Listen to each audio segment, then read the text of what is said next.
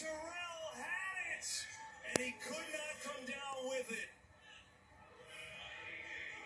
He does everything right except finish the catch as he goes to the ground. You know, a nice job. Watch this. I, I want you to watch Tyreek Hill. Watch this. As this ball bounces up, I mean, he's in a position, he's going to grab it.